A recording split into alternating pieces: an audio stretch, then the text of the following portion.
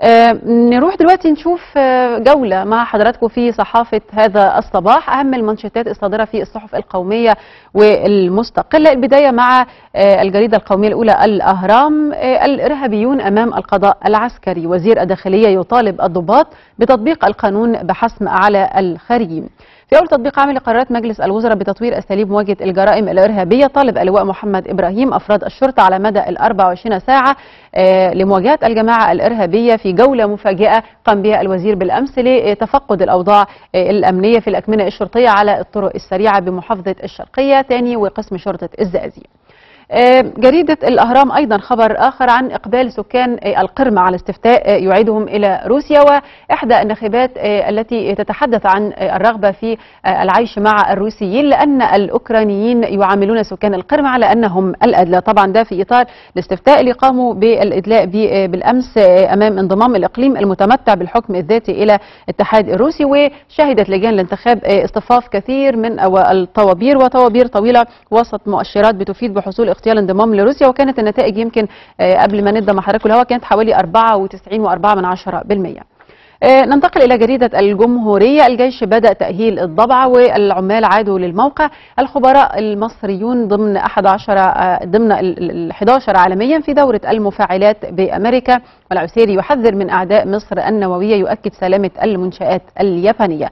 أربع خبراء مصريين ضمن ست دول في دورة الوكالة الدولية للطاقة الذرية لخبراء ست دول للتعرف على أحدث أجيال المفاعلات النووية في الولايات المتحدة. في الوقت اللي بدأت فيه هيئة المحطات النووية إعادة العمالة لموقع الضبعة لتسلمت القوات المسلحة لتنفيذ البنية الأساسية الكاملة لإنشاء المحطة النووية الأولى.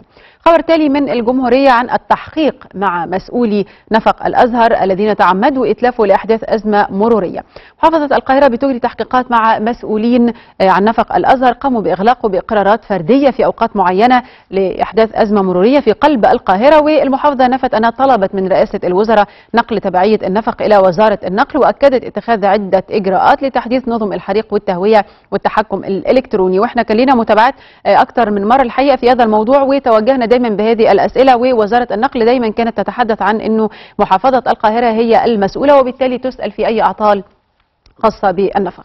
ننتقل إلى جريدة الأخبار وفي أول اجتماع للمحافظين برئاسة محلب مساهمة برأس مال 20 مليار جنيه لتوفير مليون فرصة عمل لتحسين مستوى معيشة المواطنين وخريطة لمكافحة الفقر. مجلس المحافظين مساء الأحد بالأمس كان لي اجتماع برئاسة المهندس إبراهيم محلب ناقش فيه العديد من المشاريع كانت على رأسها القضاء على البطالة والفقر. في جريدة آه، الأخبار آه، تحديد شخصية أربعة من الجناة في حادث كمين مستورد العملية الإرهابية استغرقت عشر دقائق وعمال شركة النشا يدلون بأوصاف الجناة. المشير السيسي يقرر إعفاء أبناء وأشقاء الشهداء من التجنيد.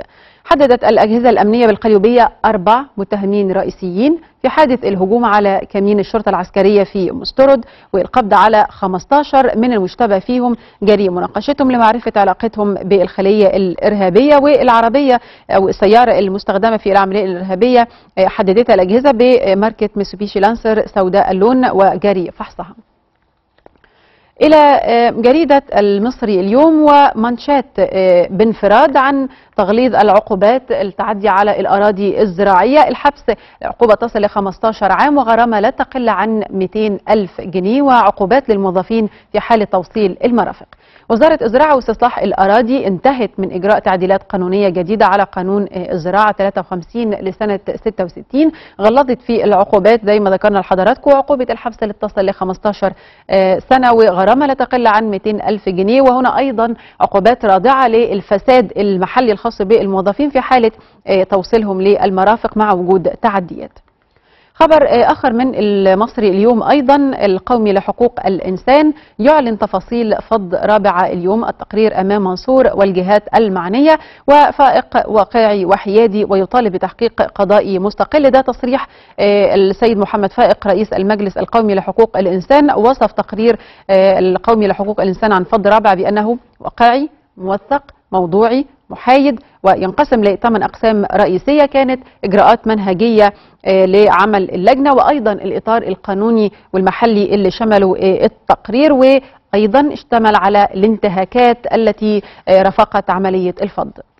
إلى جريدة اليوم السابع وخبر عن انتهاء التحقيق مع أكثر من 60 جهادي من تنظيم العائدون من سوريا. تحقيقات بتكشف أن المتهمين خططوا لتكوين جيش النصرة بمصر وتنفيذ عمليات إرهابية ضد الجيش والشرطة. 60 متهم أكدت مصادر مطلعة أن جهات التحقيق المختصة. انتهت من التحقيق معاهم في إطار تنظيم يسمى العائدين من سوريا. وجهت ليهم الانضمام إلى جماعات إرهابية بالخلاف لأحكام القانون والدستور وأيضا التخطيط لتنفيذ عمليات وحيازة أسلحة وبيجرى الآن إعداد قائمة لأمر الأحالة وأدلة الثبوت.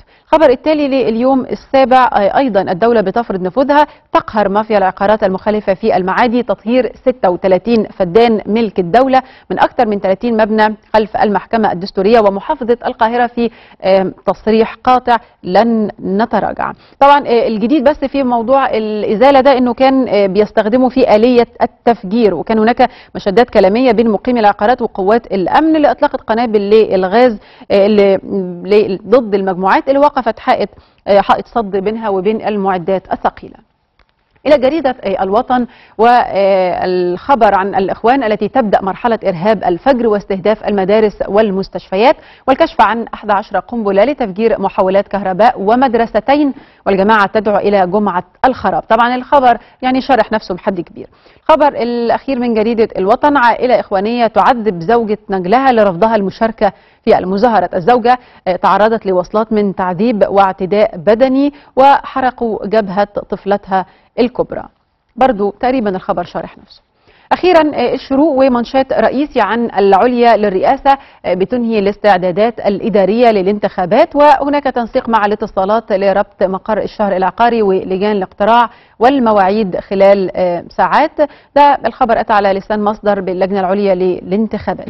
من الشروق أيضا بو عزيزي مصري يشعل النيران في نفسه أمام نقابة الصحفيين. طبعا محمد بو عزيزي هو الشاب التونسي اللي كان سبب يعني انفجار الثورة في تونس. صاحب كشك أشعل النار على نفس الطريقة أمام نقابة الصحفيين بالأمس احتجاجا منه على الوضع الحالي. وقال إن السبب هو أن الشركة اللي بيعمل فيها وهي الشركة المصرية للصناعات مؤكدا إن عقده مع الشركة هو عقد إجحاف وليس انتفاع ويعني ضيعت حقه والحمد لله تم إنقاذه. دي كانت جولة في أهم الأخبار والقضايا اللي تناولتها صحافة هذا الصباح. الصحافة القومية هيكون لنا لقاء نستعرض هذه القضايا. نتحدث عنها بشكل أكثر تفصيلا مع أستاذ معتز الحديدي ضيف صوت الناس وهو نائب رئيس تحرير جريدة الجمهورية.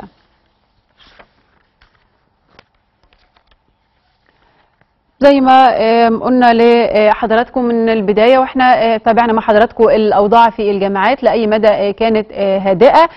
مجموعة من الأخبار العاجلة اللي استعرضناها برضو مع شبكة مراسلينا وعناوين صحفية ربما أتى على يعني راسها تنوعت ما بين أخبار الحكومة وخطوات البناء وأيضا للأسف خطوات الهدم والمحاولات المستمرة من جماعة الإخوان الإرهابية لعرقلة مسيرة هذا الوطن. اسمحوا لنا نخرج لفاصل نعود بعده لاستكمال صوت الناس. خليكم معنا.